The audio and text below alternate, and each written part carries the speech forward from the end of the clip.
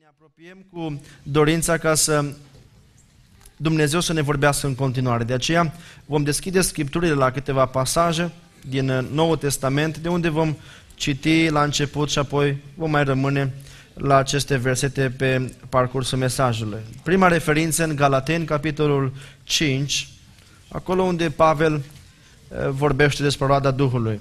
Capitolul 5, versetul 22 și versetul 23 este prima referință. Pagina Cornilescu 1143.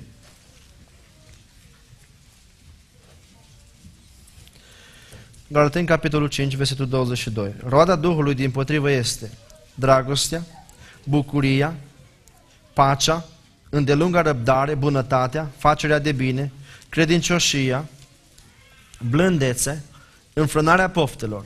Împotriva acestor lucruri nu este lege. A doua referință, prima Evanghelie, și anume Evanghelia după Matei, capitolul 5, renumita predica Domnului Iisus Hristos de pe munte, în uh, capitolul 5, versetul 5. 926, traducerea Cornilescu, Matei, capitolul 5, versetul 5. Ferice de cei blânzi, căci ei vor moșteni pământul. Vreau să citesc încă o dată. Ferice de cei blânzi, căci ei vor moșteni pământul. A treia referință, Filipeni, capitolul 4, uh, versetul 5 pagina 1153. Filipeni, capitolul 4, versetul 5. Blândețea voastră să fie cunoscută de toți oamenii. Domnul este aproape. Blândețea voastră să fie cunoscută de toți oamenii. Domnul este aproape. Ultima referință, 1 Petru, capitolul 3, versetele 3 și 4. Pagina 1193. 1 Petru, capitolul 3, versetul 3 și versetul 4. Podaba voastră să nu fie podaba de afară, care stă în împletitura părului, în purtarea de scule de aur sau în îmbrăcăminte hainelor, ci să fie omul ascuns al inimii, în curăția nepieritoare a unui duh blând și liniștit, care este de mare preț înaintea lui Dumnezeu. Când m-am gândit la titlul acestui mesaj, de aici am primit o inspirație și Aș vrea să vă citesc încă o dată, pentru că vorbește despre frumusețea interioară. De aceea mi-am intitulat mesajul în această seară tratament de înfrumusețire pentru uh, suflet, dacă vreți, sau înfrumusețare interioară. Da, este astfel de tratament și aș vrea să uh, găsim din cuvântul lui Dumnezeu. Iată frumusețea.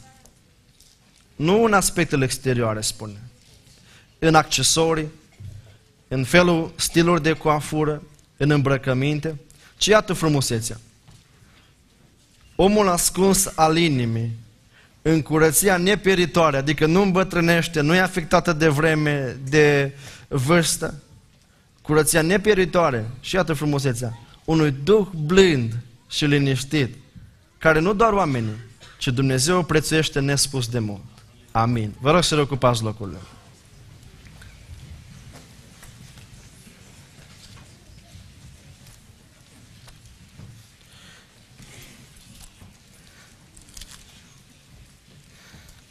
Dragii mei, această lucrare, acest tratament de înfrumusețare este o lucrare a Duhului. De aceea vă invit în acest cabinet și așteptăm ca Dumnezeu să lucreze la inima noastră în această seară și e, nu vă întreb câți vă considerați frumoși pe din interior. Vreau să vorbesc în această seară despre farmecul omului, parfumul acela din interior, care Biblia numește bunătate sau care există strânsă legătură cu blândețea. Poate uneori facem această confuzie. Ehm, blândețea este atitudinea inimii, iar bunătatea este manifestarea acestei atitudini. Ehm, vom vorbi despre blândețe și poate în contrast despre mânie. Vreau să vă întreb, înainte de toate, câți vă considerați oameni blânzi? Sau, să pun altfel întrebarea, câte soții au soți blânzi?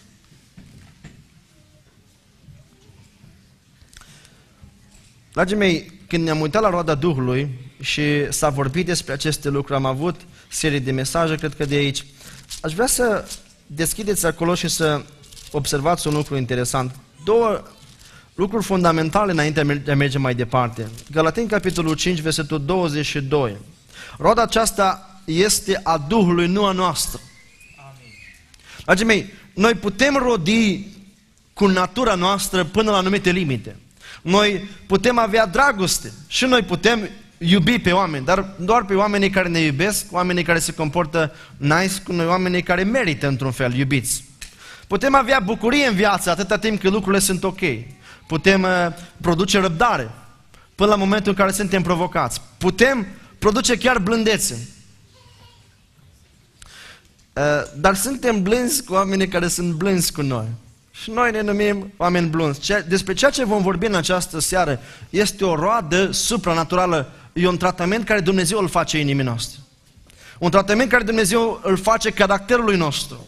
Veți vedea cum poate fi influențat caracterul nostru, caracter uh, coleric, melancolic, uh, flegmatic, orice tip de caracter poate fi influențat de Duhul lui Dumnezeu și putem primi un Duh blând. Acolo expresia de Duh nu se referă la Duhul Sfânt, ci la Duhul omului.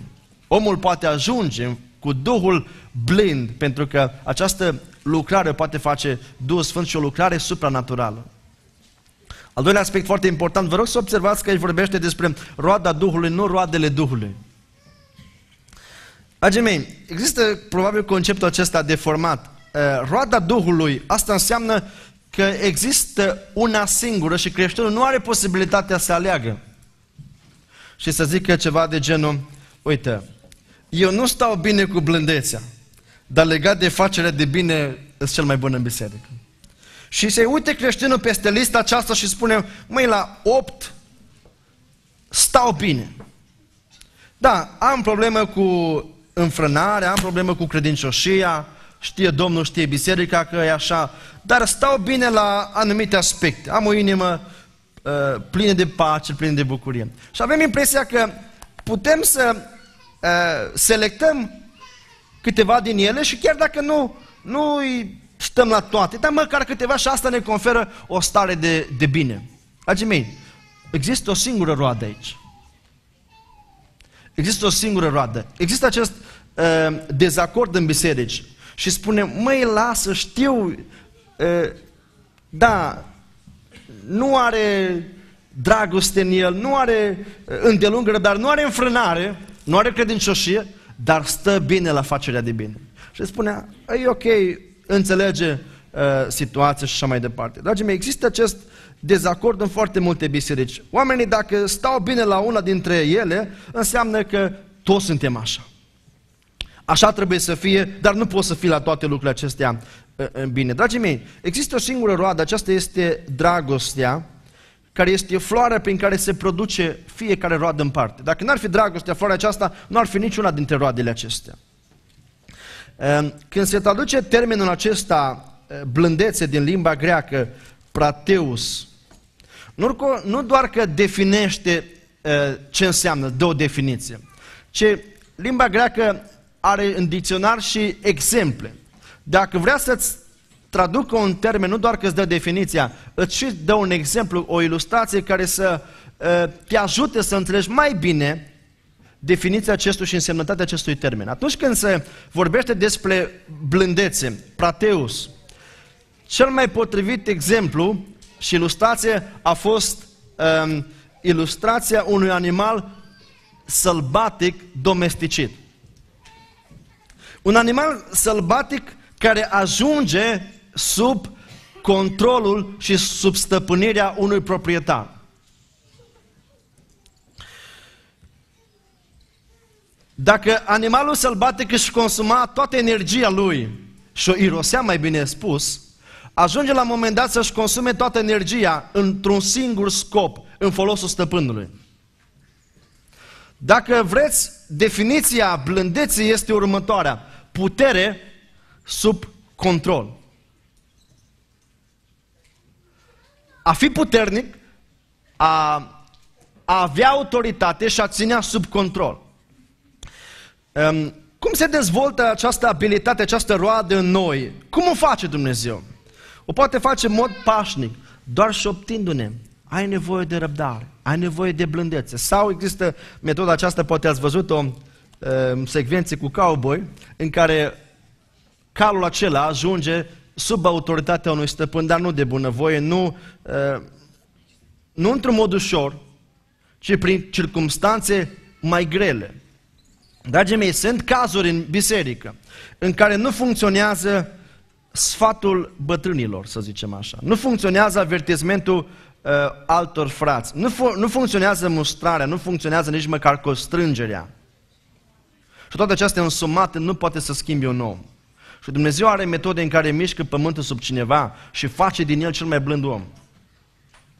Dacă până atunci avea o atitudine de răzvrătire, atitudine de uh, el știe, el face, lui nimeni nu-i spune nimeni. Dumnezeu poate, are atâtea metode în care să aducă un om sub autoritatea lui și îl face cel mai blând om din biserică. Dumnezeu folosește unor circunstanțele acestea dificile, nefavorabile în viața noastră, ca să modeleze acest caracter. Ceea ce nu poate face uh, biserica, părinții, ceea ce nu poate face educația chiar, o poate face Dumnezeu prin aceste metode dureroase. Dar o face. Dragii mei, uh, există versetul acesta care l-am citit din Matei, capitolul 5, versetul 5. Ferice de cei blânzi, că ei vor moșteni pământul. Dragii mei, dacă nu ar fi spus-o asta, Domnul Iisus n-aș fi crezut-o. O cred sincer pentru că scrie în cuvântul lui Dumnezeu și a spus-o însuși Domnul Iisus. Dar cum, cum, ce înseamnă asta? Oamenii puternici să moștenească. Pentru că ideea asta nu e una foarte populară, ideea asta. Uh, se asociază greșit ideea asta că uh, a fi blând e o slăbiciune. A fi blând înseamnă a fi bleg. A fi blând înseamnă a nu avea autoritate. A fi blând înseamnă a abia te mișca, a vorbi încet, a nu te îmbrăca cum trebuie. Ideea asta că uh, a fi blând e o slăbiciune. Vreau să uh, rețineți tot această, legat de această ilustrație. Calul domesticit nu e mai slab ca și calul sălbatic. Numai ideea asta că ăia sunt puternici, că fac ce vor. Calul domesticit, care este sub autoritatea stăpânului, are aceeași putere, numai și consumă, acum în folosul stăpânului. Sunt două extreme uh, legate de uh, putere. Nu uitați definiția cu care am început. Blândețe înseamnă a avea putere, dar ți-a țosenea sub control. Există o categorie, există două extreme dacă vreți. Uh, omul care nu are putere, dar are control. Dacă vreți, societatea numește bleg. Există omul care, în cealaltă extremă, care are uh, autoritate, dar nu are control. Omul ăsta numește societatea bădărean. Avem blegul și bădăreanul. Unul are uh, control, dar nu are putere, celălalt are putere, dar nu are control. Între aceste două extreme există omul care are și putere, veți vedea mai târziu ce înseamnă putere, dar are și control. În această seară, dragii mei, vreau să vă vorbesc din Cuvântul lui Dumnezeu despre beneficiile acestui roade în viața noastră. Beneficiile blândeții în viața noastră. Le-am ales câteva și cred că vom avea timp să le parcurgem pe toate. Uh, ce înseamnă aceste lucruri, acest, acest echilibru în viața noastră? La ce ne ajută? Ce folosește? Cum se manifestă blândețea în viața unui credincios? În primul rând, blândețea dezamorsează conflictul. Am folosit termenul acesta tehnic care uh, e popular pentru pirotehniști. Dezamorsare de bombă. Pentru că tocmai asta face blândețea. Dezamorsează uh, conflictul. Blândețea este antidotul pentru mânie. Vă rog să deschideți la Proverbe, capitolul 15, versetul 1.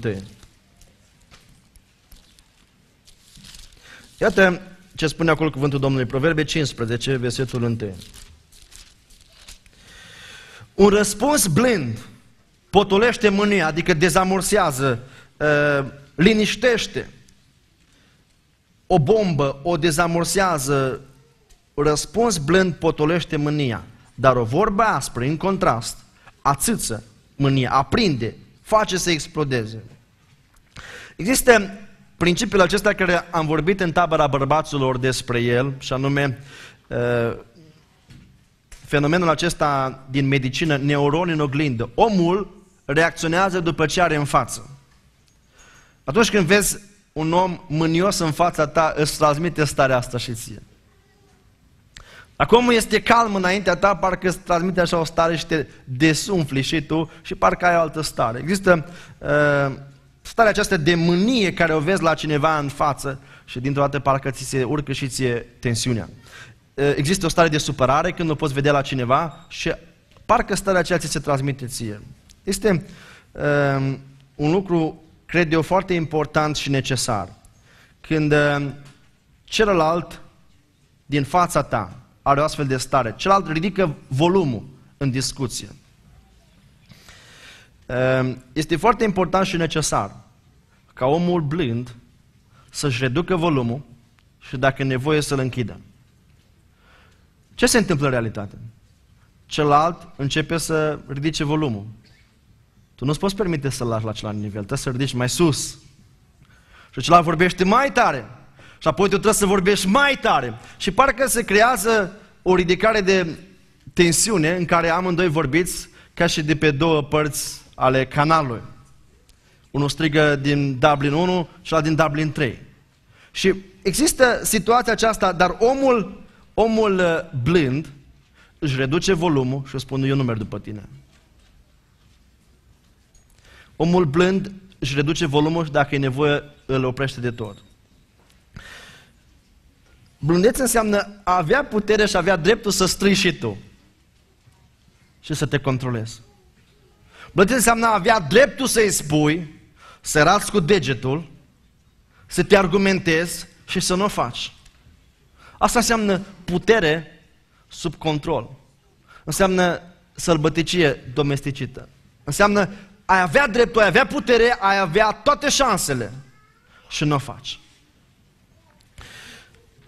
Există în uh, Eclesiastru o traducere uh, în, în uh, New Living Bible, sună foarte interesant. Eclesiastru, capitolul 10, versetul 4. Următoarea carte după Proverbe, Eclesiastru, capitolul 10, versetul 4.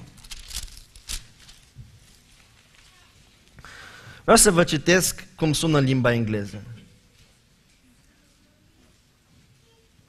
Când izbunește împotriva ta mânia șefului sau când șeful tău este nervos, nu îți părăsi locul sau nu pleca. Când șeful tău este nervos, nu pleca. Poate are o problemă în familia lui. Poate e bolnav copilul, poate este în stare indis, indispusă în ziua aceea, dar nu are de-a face cu tine. I-a ieșit, ai fost omul nepotrivit la moment nepotrivit. Și știi ce e interesant? Spune cuvântul Domnului, nu fugi. Nu spune, plec, îmi las munca și îmi schimb în fiecare lună munca. Nu. Spune cuvântul Domnului, nu pleca, dar nici nu vorbi. Nu-i răspunde. Rămâi acolo, dar nu reacționa. A doua, bine, a doua binecuvântare sau beneficiu al blândeții este că blândețea dezarmează critica. Acum, vreau să-ți spun ceva, poate o să-ți placă și o să te ungă pe suflet lucrul acesta. Ești puternic în măsura în care ești criticat. Ești puternic în măsura în care ești criticat. Dacă nu faci nimic în viață, nu vei fi criticat pentru nimic. Singura cale să nu fi criticat în viață este să nu spui nimic, să nu faci nimic și să fii nimic.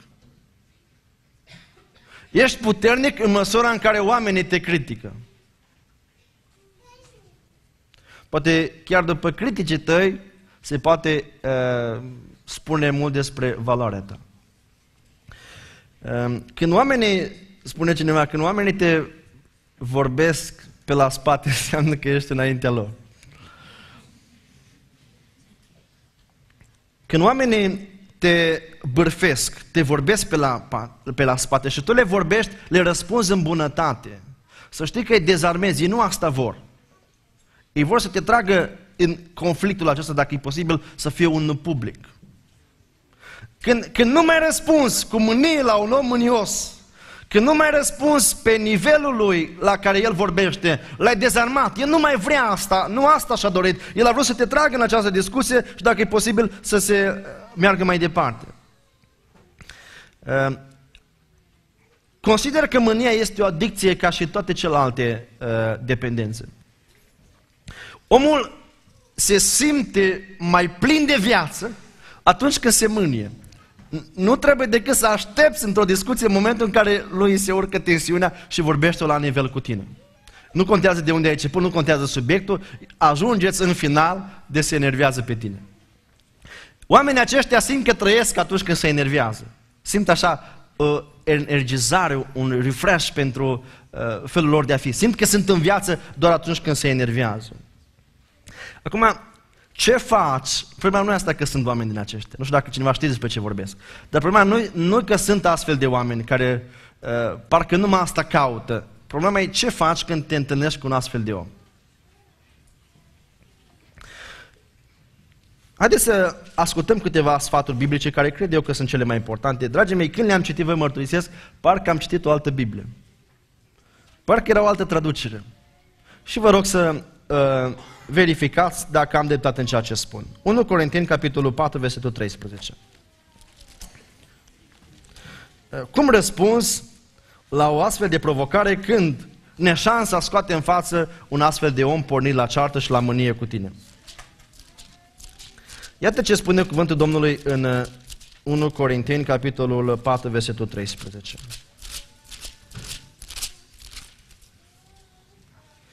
Când suntem vorbiți de rău sau când sunteți vorbiți de rău, ce facem? Frații mei, credeți-mă, nu am crezut că scrie așa ceva în Scriptură.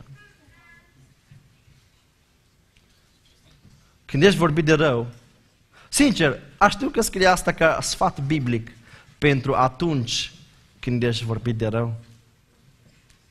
Când sunteți vorbiți de rău, noi ne rugăm. Noi nu sunăm înapoi, noi nu răspundem înapoi, noi ne rugăm.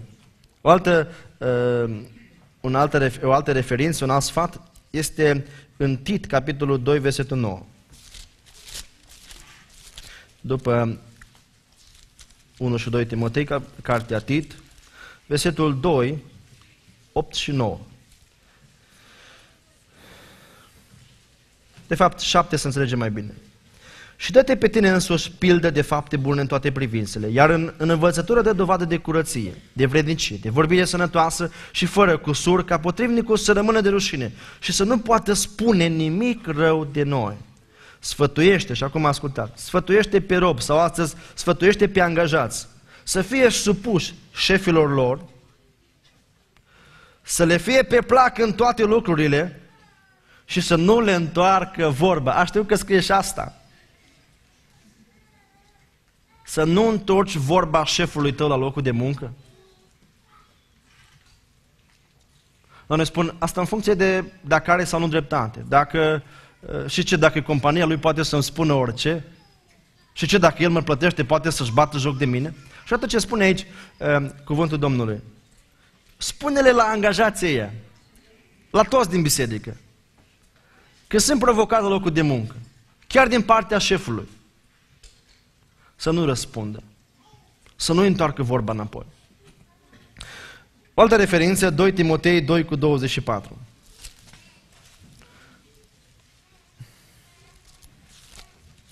Doi Timotei 2 cu 24.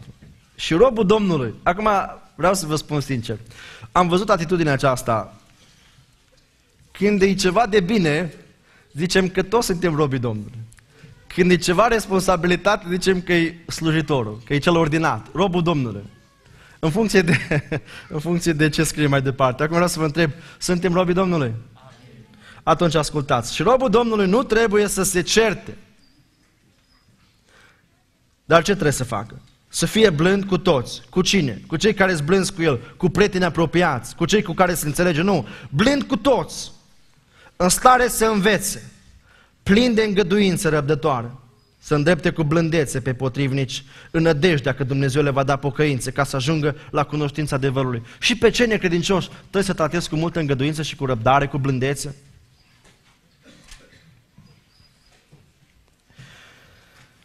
Dragii mei, Duhul lui Dumnezeu poate influența caracterul nostru încât Duhul nostru, dintr-un Duh răzvrătit, să ajungă un Duh blând și liniștiți, care este de mare preț înainte lui Dumnezeu sau care este frumusețea adevărată a unei persoane. Frumusețea unei persoane nu dă valoarea hainelor, nici accesorilor și nici stilul în care se îmbracă sau are freza. Valoarea unui om, spune cuvântul lui Dumnezeu, este aceasta, interiorul omului. Omul liniștit, omul blind, omul acesta este de mare valoare înainte lui Dumnezeu și credeți-mă că dacă Dumnezeu spune că ai valoare înainte lui, apoi mai puțin contează ce spun ceilalți. Opusul blândeții este mânia. Dacă deschideți la Efeseni capitolul 4, versetul 31. Mă bucur că este interes în a citi din Cuvântul lui Dumnezeu și toți urmărim aceste versete. Efeseni, capitolul 4, versetul 31. 1148.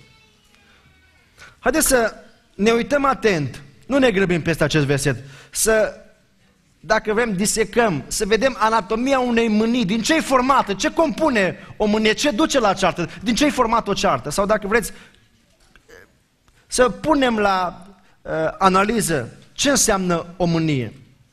Din ce e formată? În primul rând, se compune din amărăciune. În primul rând, parcă este și o ordine care se leagă aici. Amărăciune. Adică nu îmi convine ceva. Starea aceasta care ceva în biserică nu-ți place, primul sentiment care îl simți este acesta de amărăciune. Ceva nu-ți place în biserică, primul sentiment de amărăciune. Apoi, iuțime. Spune, așa sunt eu, frate, așa, eu sunt mai iute, da? Eu sunt mai iute.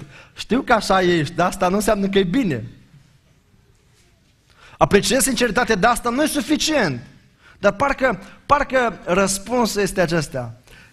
Spunea cineva în România, a întâlnit, îmi vine acum aminte că m-am uitat la el, spunea că a fost la medic de mi-am scos nervul. și am zis, acum să spun o soție dacă se l-a scos sau nu. Dragii mei, amărăciunea, iuțimea, mânia. Aici e centrul de comandă, centrul acesta rămâne blocat. Spuneam în tabăra bărbaților, vorbeam despre partea aceasta uh, sentimentală, responsabilă cu emoțiile. Și partea uh, rațională, responsabilă cu calcul, cu matematica, ne calculăm taxele, ne uh, facem socotelile, cât ne-a mai rămas, cât mai avem. În momentul în care suntem mânioși, există raportul acela, uh, nervi mulți, logică puțină. Nu întreba pe un om mânios, tu nu realizezi, tu nu ești conștient, tu nu mai gândești, pentru că partea aceea rațională e blocată. Ce e accelerat în momentul acela este partea aceea emoțională. Ehm, apoi, strigare, care există și înțelesul de furie, și apoi clevetire. Dragii mei, aici nu vorbește despre a bârfi, pentru că există același context. Păstrează aceeași idee, Pavel. Aici vorbește despre a vorbi de rău. În momentul în care ești nervos, vorbești de rău. Asta înseamnă clevetire în acest context. Adică a vorbi, a răspunde la nervi. A spune lucruri care mai târziu le, le regreți.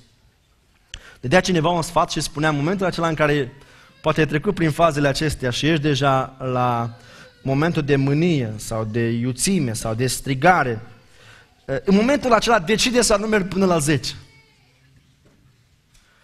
Și înainte de a reacționa, spune 1, 2, 3, 4 și așa până la 10. Nu sări 1, 10 și te mâni. Nu. 1, 2, 3, 4. Și spunea, nu, soților, nu îi face numărătoarea ca la box, pentru că s-ar putea să fie mai mânios. Nu uh, când îl vezi pe soț mânios, tu îi spui 1, 2, 3, 4, 5.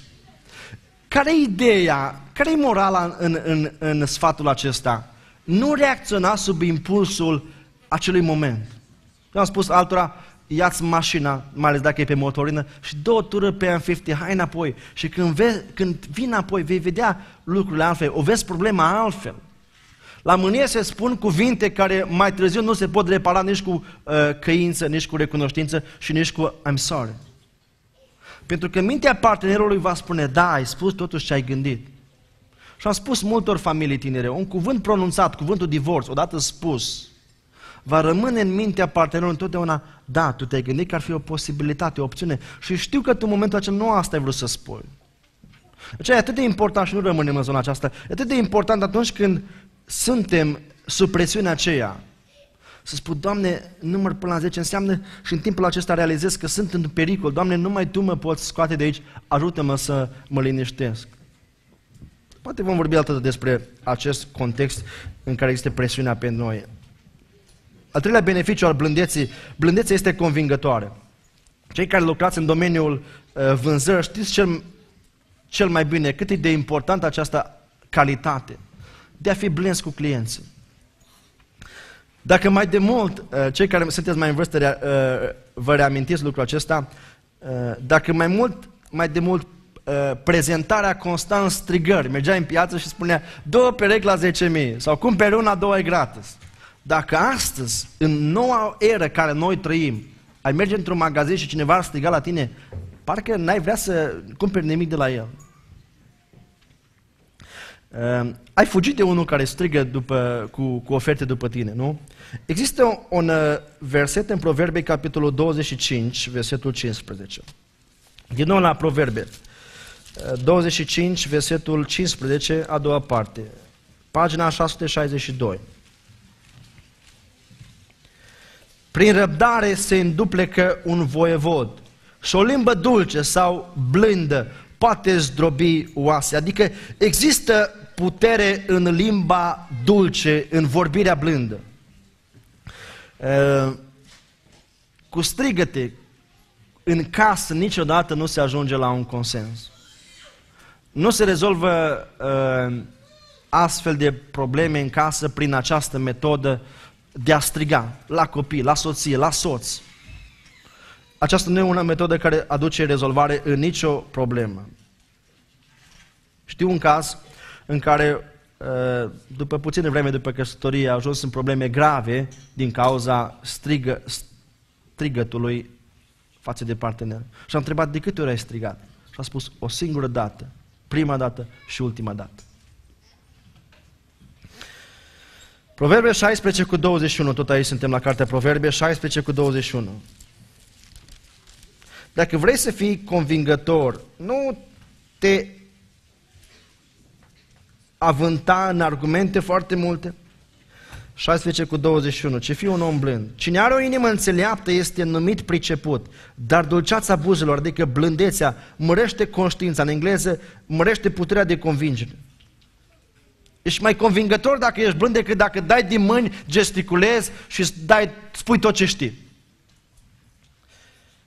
De ce oamenii mai maturi spiritual sunt mai blânzi? De ce oamenii mai spirituali știu să te asculte până să termin intervenția? Nu te întrerup, te ascultă. Ă, de ce oamenii aceștia consideră că totuși tu ești mai important decât părerea lui? Oamenii slabi spirituali imediat reacționează. Am impresia că atât de important e ce spune încât nu se poate și nu te poate lăsa să-ți termine ideea. A patra uh, binecuvântare sau a patra, uh, patrulea beneficiu, blândețea este atractivă. Dragii mei, vreau să vă spun un lucru, principiu, dacă vreți notați. Tu atragi nu oamenii care vrei, ci oamenii cu care te asemeni. Tu nu atragi oamenii pe care îi vrei să-i atragi, ci atragi pe cei care sunt ca tine. Tu atragi ceea ce ești, aceea vor coagula în jurul tău. Dacă vrei să atragi oamenii lui Dumnezeu, trebuie să fii tu însuși un om al lui Dumnezeu. 1 Timotei, capitolul 6, versetul 11.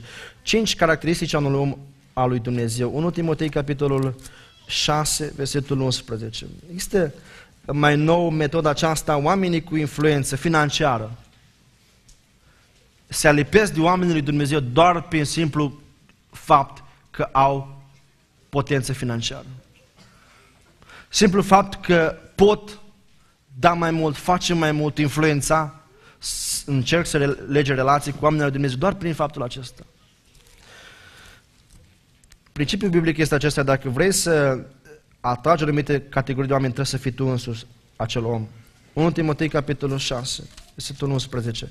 Iar tu, om al lui Dumnezeu, fugi de aceste lucruri și caută. Iată trăsăturile unui caracter al unui om la Dumnezeu. Caută neprihănirea, evlavia, credința, dragostea, răbdarea și, nu ultimul rând, blândețea. Uh, iată frumusețea unei femei. 1 Petru 3, 4 și 5. Am citit acest verset. Iată frumusețea adevărată a unei femei. Chiar dacă are anumite kilograme, anumite vârstă, chiar dacă uh, arată într-un fel sau altul. Iată, iată frumusețea adevărată a unei persoane. Blândețea, în acel celălalt rând, blândețea comunică dragoste, transmite dragoste. Vreau să dau un sfat celor care în momentele acestea sunt în criză, în familiile lor, în relațiile lor, la locul de muncă, la biserică, relații de familie. Prima măsură care te rog să o iei din această seară, după ce se termină biserica, decide să fii mai blând. Vorbiți mai blând, fiți mai blând, testați această măsură și veți vedea că aduce roade. Uh, dragii mei, problema oamenilor nervoși, mânioși, iuți, nu e mânia în primul rând, ci uh, orgoliu. Un om mânios, înainte de a fi mânios, e un om orgolios. Un om nervos, înainte de a fi nervos, e un om mândru și orgolios. Toate acestea, dacă stai să te uiți la viața unui om cu un astfel de stil de viață, vei vedea că pornești toate de la mândria și de la orgoliu personal. Vă certați în fiecare zi în familie. Testează măsura aceasta. Încearcă din seara aceasta să fii mai blând. Vă certați în orice.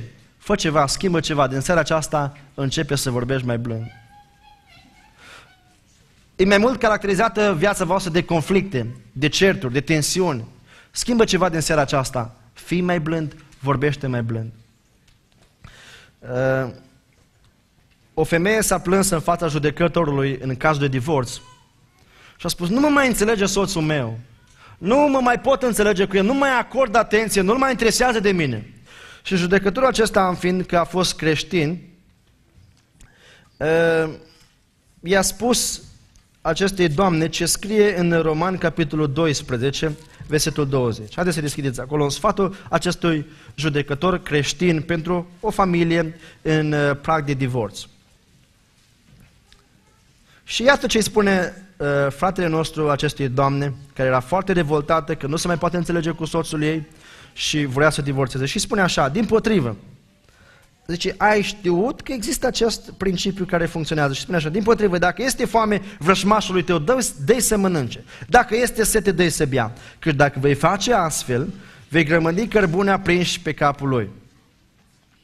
Și spune judecătorul, știi că poți să-i pui cărbune aprinși în cap în felul acesta? Și a spus, domnule judecător, vă respect sfatul, dar nu cred că funcționează. Și a spus, de ce spui asta? Și spune doamna aceasta, eu am încercat și cu apă rece și nu a funcționat. Din potrivă, au ieșit lucrurile mai rău. Un secret, dragii mei, în relațiile de familie. Vreau să vă spun că cea mai fericită familie este familia în care s-au întâlnit doi iertători. Cea mai fericită familie din Biserica Vetania este familia în care s-au căsătorit, s-au întâlnit, stau împreună, doi care iartă foarte ușor. Doi iertători. De unde spun asta? E un principiu biblic. Uh, Coloseni, capitolul 3, versetul 19.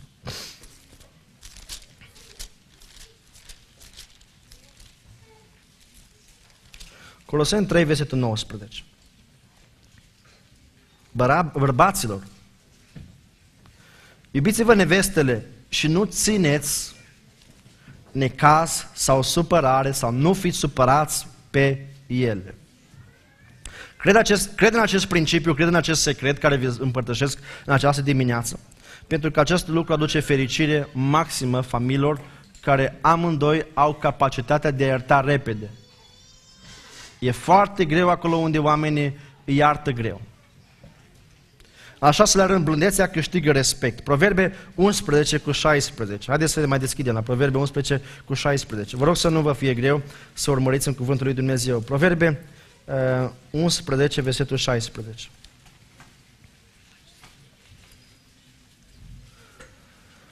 O femeie plăcută, sau altă traducere, o femeie blândă, capătă cinste sau capătă respect. Acest principiu este valabil în orice domeniu și pentru bărbați.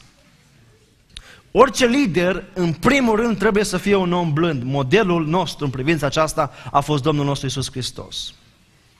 Singura autoritate care o ai în biserică, în familie, la locul de muncă, o ai care o primești de bunăvoie.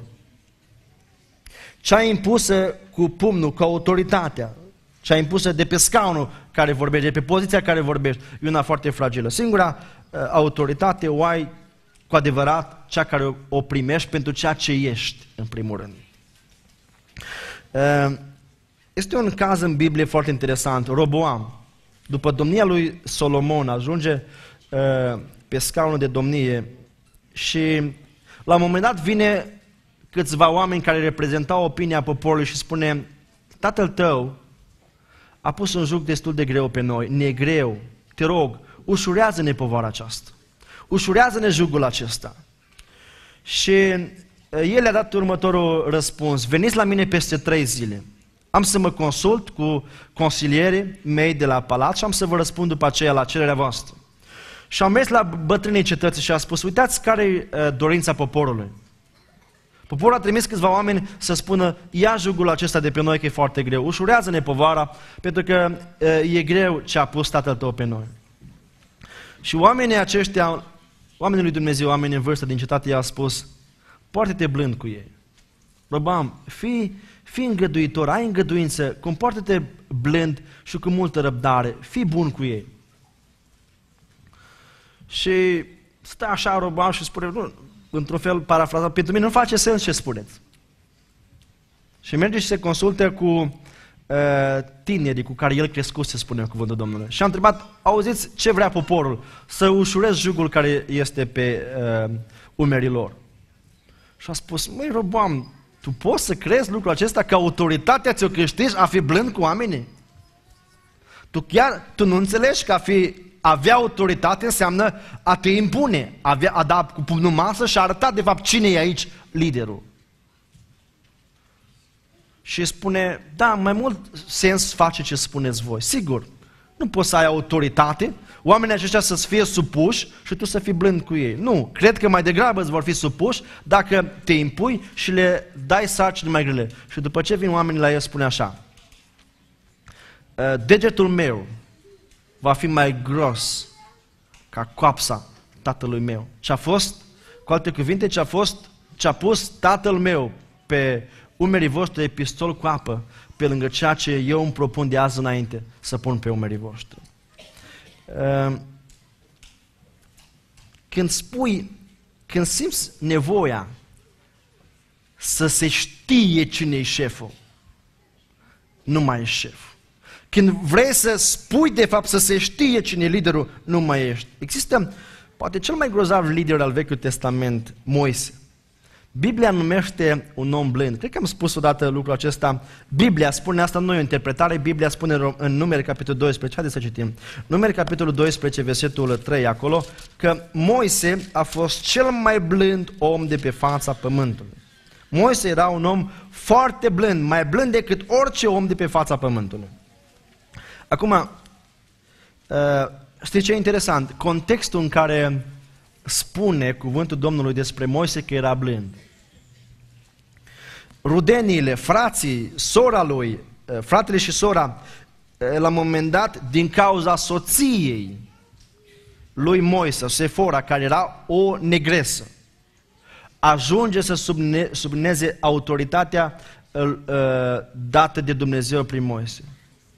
Și din cauza asta, nu l-a mai putut suporta nici pe Moise. Și Moise, tu vii cu o negresă în casa noastră și tu vrei acum, să... eu, eu Maria, sora ta, să mă înțeleg cu ea. Și au ajuns probleme până acolo încât uh, au contestat inclusiv autoritatea lui Moise.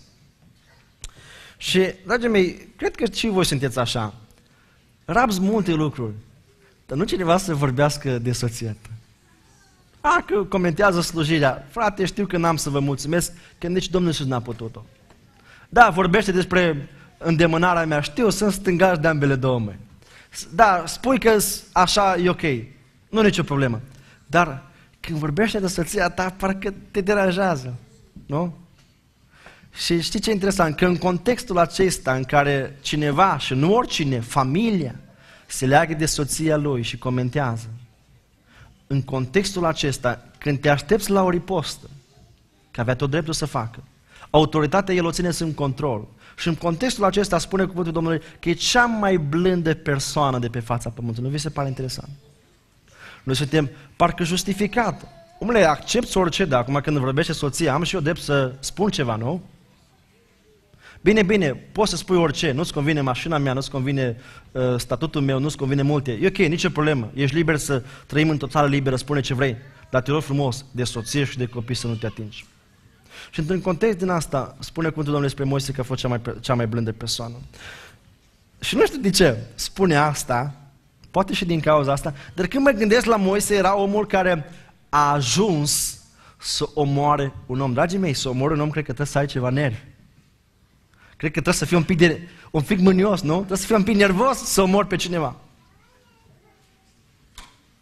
Ajunge la un moment dat în care uh, Dumnezeu îi spune, vorbește stânci și el spune, la nervi ăștia să mai stau cu mâinile liniștite și lovește stânca. Când se coboară de pe munte, la, de la întâlnirea cu Dumnezeu, când vede ce face poporul în vale, nu interesează că legile acelea au fost scrise cu însuși degetul lui Dumnezeu. De de pământ cu ele și Dumnezeu e nevoie să facă altele. Întrebarea mea, cum poate Dumnezeu dintr-un astfel de caracter, din astfel de temperament, nervos, toți știau la Moise să nu-i spui că ceva că și dă de pământ cu ce are în mână. Dumnezeu face din el cel mai blând om de pe fața pământului. Știți care este secretul? Nu, nu avem timp să rămânem la zona aceasta. Uh, Moise era omul care nu justifica greșeala, omul care se lăsa învățat. Haideți repede să deschidem la Efeseni, capitolul 4. Probabil nu vom avea timp să parcurgem tot, dar cât uh, mai avem timp. Efeseni, capitolul 4, versetul 31 și 32. Haideți să ne uităm legat de mânie și de blândețe, ce spune cuvântul lui Dumnezeu acolo? Efeseni, capitolul 4, versetul 31.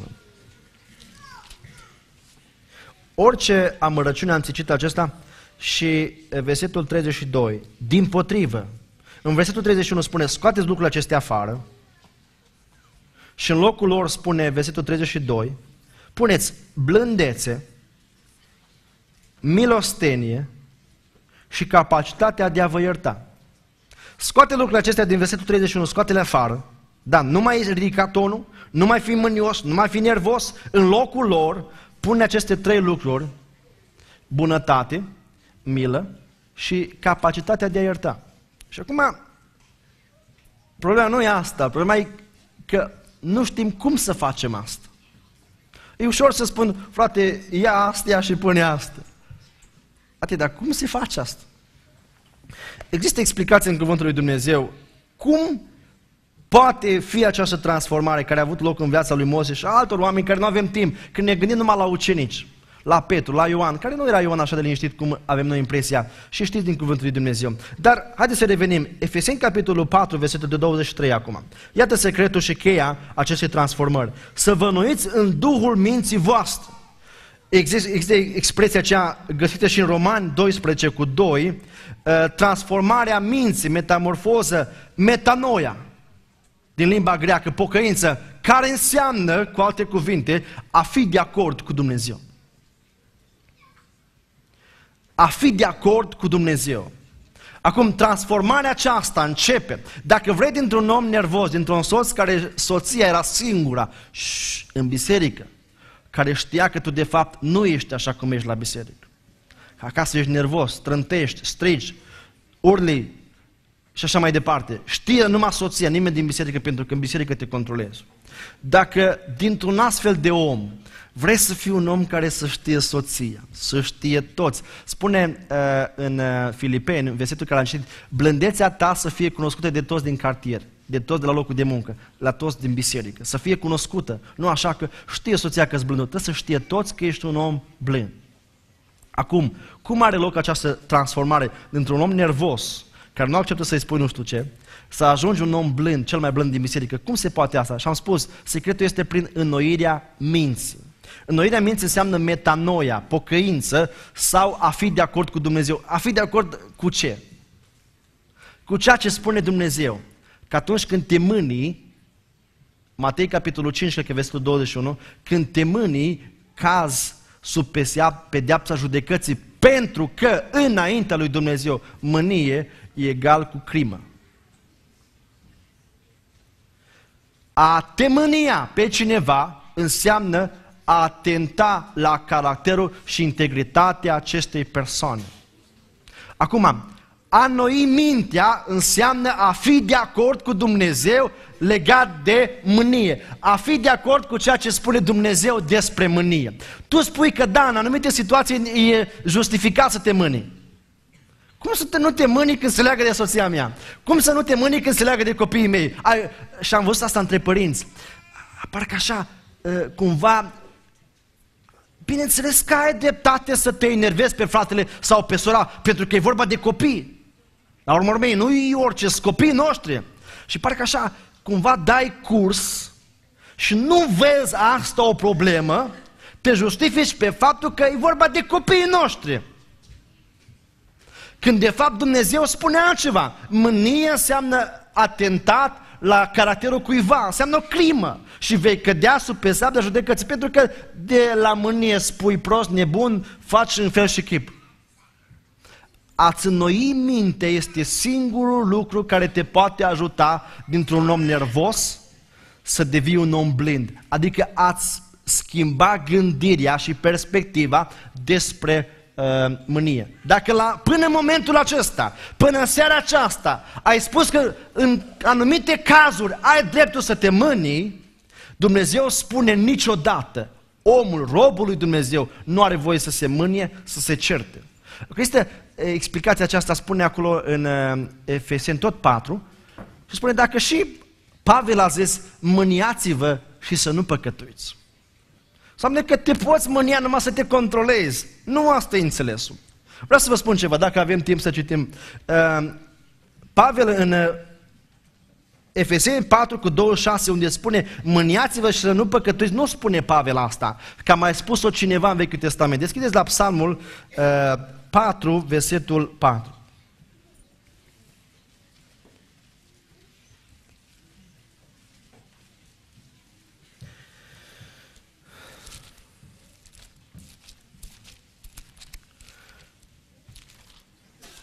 Nu avem impresia asta că da, te poți nerva, dimineața pot merge supărat, nervos la muncă, pe soție sau pe soț, dar e important pe când vii acasă lucrurile să fie rezolvate. Ia ce spune Psalmul 4 cu 4 exact citatul care îl reproduce Pavel. Nu idealul Pavel asta, era scris în Vechiul Testament.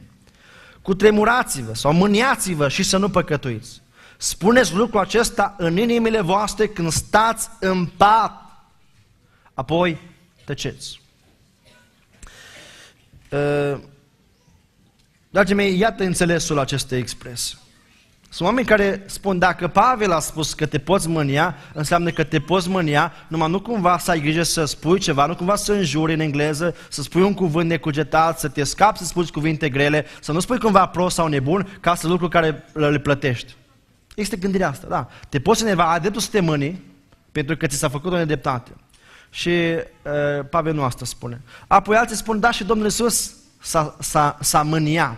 E, e normal să te mâni. Parcă găsim așa justificare dacă și Domnul Iisus. Și într-adevăr, în Cuvântul lui Dumnezeu sunt în două locuri menționate următoarea expresie, s-a mâniat. Marcu 3 și Marcu 10. Dar știi ce interesant? În ambele cazuri, că nu-i timp, în ambele cazuri, Domnul Iisus nu răspunde la mânie. Marcu 3 și 10, verificați acasă, două capitole în care menționează că Domnul Iisus s-a mâniat dar nu le răspunde nimic oamenilor în contextul care l-au provocat să, să le răspundă cu mânie. Uitați-vă și citiți aceste contexte cum le răspunde uh, Domnul Isus. Dragii mei,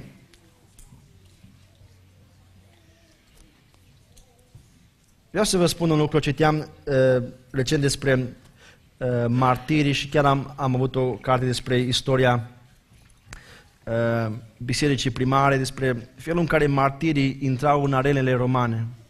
Și acolo nedreptățiți uh, acceptau să moară într-un mod onorabil înaintea oamenilor și înaintea lui Dumnezeu. Nu strigau că li se face nedreptate, nu strigau că nu-i cinstit, nu-i drept, că au familii, nu strigau, ce felul blând în care intrau în arene, felul blând în care mureau, i-a făcut pe mulți oameni din tribună să se ridice și să spună felul lor blând de a muri mă determină să-L accept și eu astăzi pe Hristos.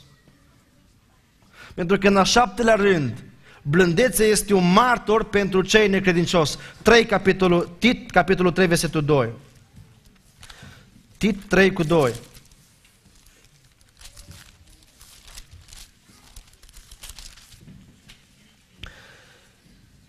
Să nu vorbească de rău, adică credinciosul, să nu vorbească de rău pe nimeni.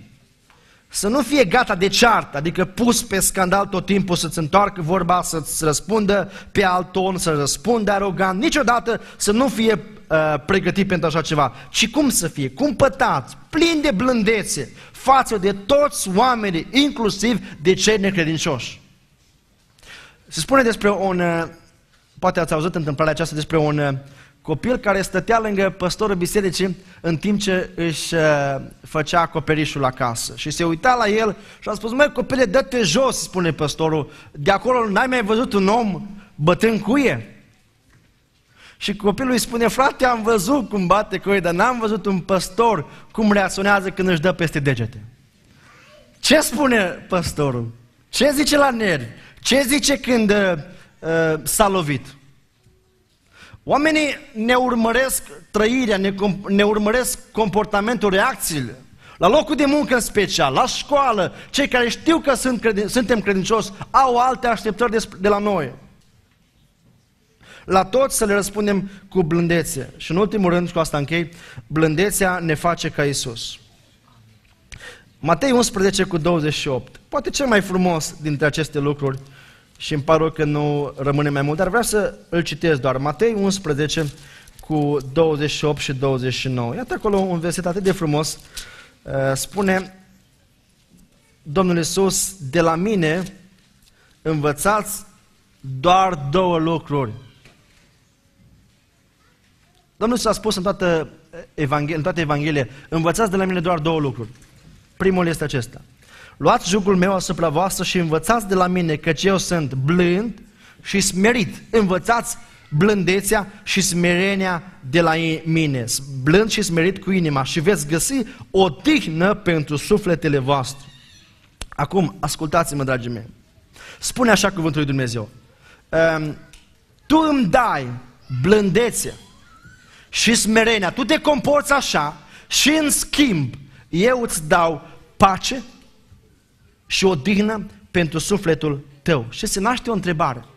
Dacă eu nu am pace și o dignă, dacă sunt prea încărcat, prea aglomerat și nu mai fac față, mă afectează psihic, fizic și emoțional și spiritual.